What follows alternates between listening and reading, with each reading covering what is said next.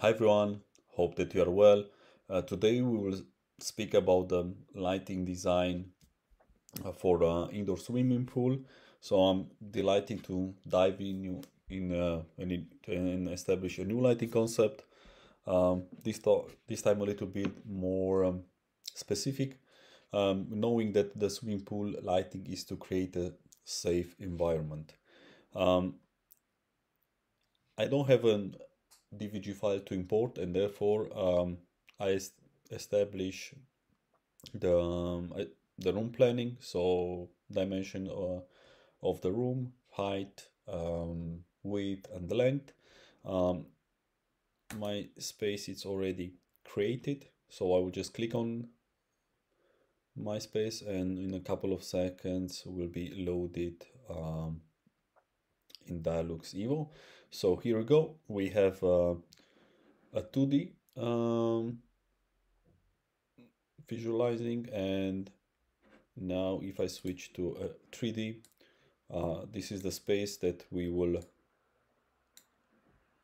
establish the lighting lighting design um, for the for the for the indoor swimming pool as mentioned early. Uh, we have a lot of natural light um, in usual usual cases, um, the indoor swimming pools can will have a lot of natural light um, from skylight or as in in this project we have on on both sides on the on the length of the of the swimming pool and we have a lot of, uh, of natural light. Uh, we can see that the space is 35 meters and the width is on 20 meters. Height of the space is 6 meters. And if we check the dimension of the swimming pool it's a standard dimension on 25 meters uh, by 10.5 usually this dimension is like five lanes inside of for the swimming pool.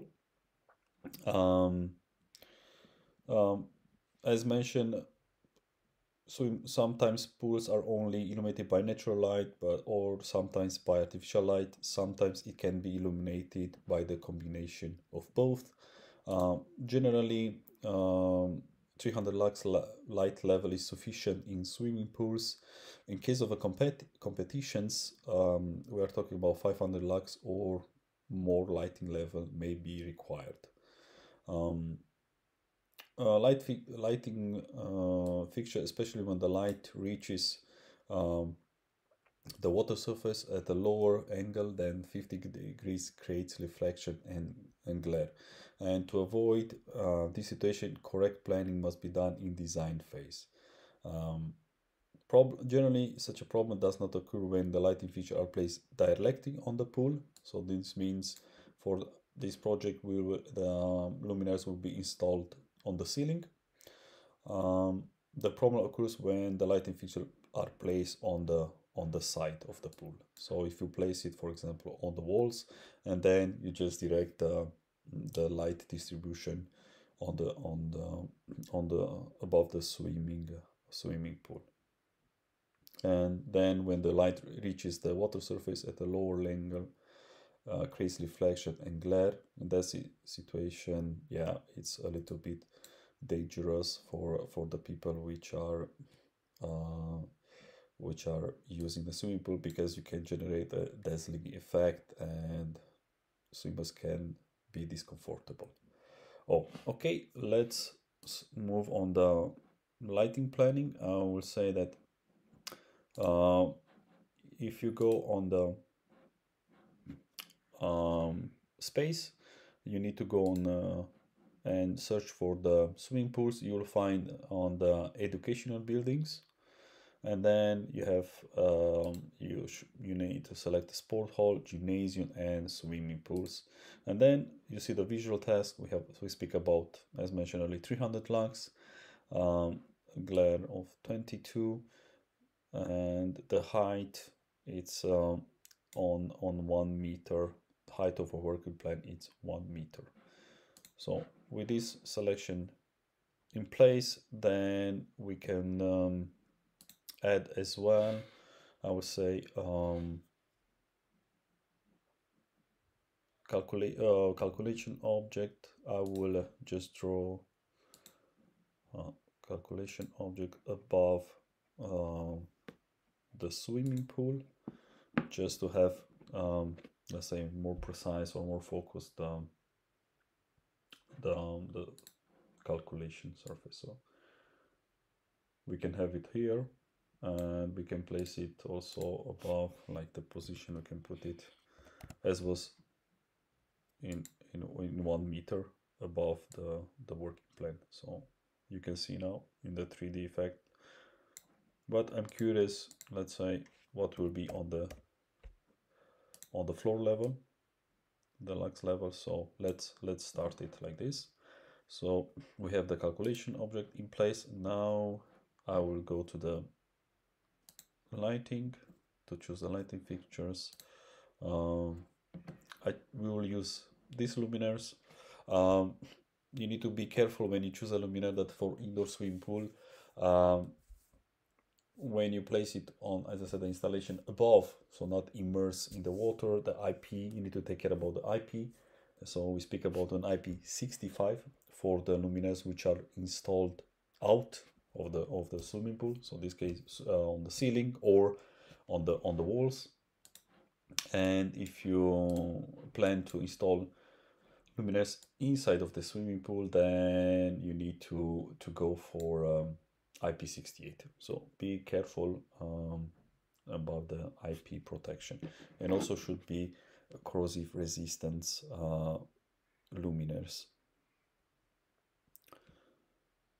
Okay um, let's let's move now on uh, 2D uh, visualization. And I will just draw a rectangular with the luminaires. Let's see the su suggestion from Dialux. I think it's for 300 lux this is will be too many. So I will edit a little bit. We, I will say number of luminaires alignment will be 4 and here let's go 5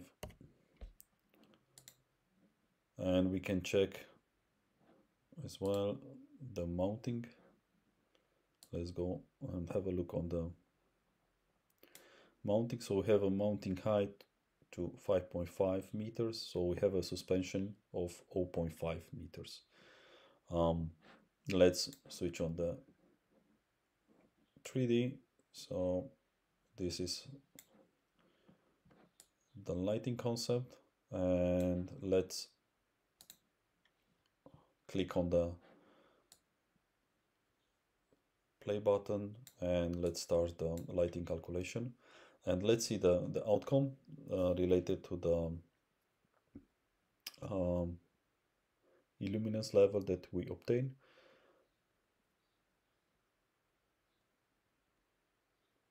Um, just one remark if you you plan to use um, in addition to general lighting so what we have in this moment underwater lighting in the swimming pool can be used to reduce the reflection effect and improve the, the lighting quality under the water. Um, that kind of lighting it's also I would say uh, important for for for safety. And as I mentioned early, I want to highlight that um, when you choose um, light diffusion fi fixtures for um, swimming pools. Be careful about the IP. Um, should have as a minimum IP54 protection class, and the fixtures which are underwater should have minimum IP68. Um,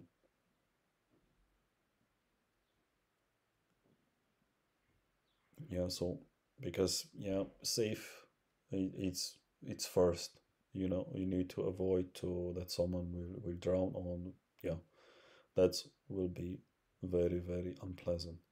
And maintenance of the light lights can be very hard and as well expensive knowing the height um, especially if the if it's placed on swim, on swimming pools.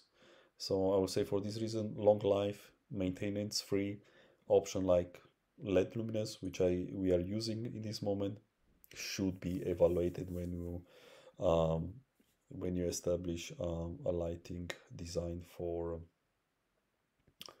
for the for a swimming pool Uh, flood, flood, floodlights um, can be direct to walls and ceilings to provide glare-free lighting. Also, as mentioned early, please try to use as many fixtures on the ceiling, so direct um, above the, the swimming pool, and try to avoid to direct the, the light from from the walls, just to avoid the reflection and discomfort for the swimmers. Okay, now we have the results. So uh, on the on the surface calculation surface we have obtained a 307 lux and also uniformity of 0.8 which is very very good so this is on the work plane and then if we go on one meter which was suggested with um, with the norm we reach a light level of 353 lux and uniformity of 0.38. Most important is the swimming pool, of course, to meet, but we are with green in both cases. So in this case, um, the solution, the lighting solution, um, it's good. So that's a good job done. So this lighting solution can be implemented uh, for this um, indoor swimming pool. Um, if we have any questions related to to establishing the lighting design for the for the swimming pools, uh, please let your comments um, under this video. I'm very happy uh, to answer and help you to establish lighting solution for this kind of um, space. Um, other questions related to the lighting, feel free to ask. I'm, as mentioned earlier, more than happy to to to support uh, when we we talk about the lighting design for for different application, indoor or outdoor. So have a great day. Thank you for watching my videos. Please subscribe to my channel if you didn't do yet. Uh, give a like and have a good day.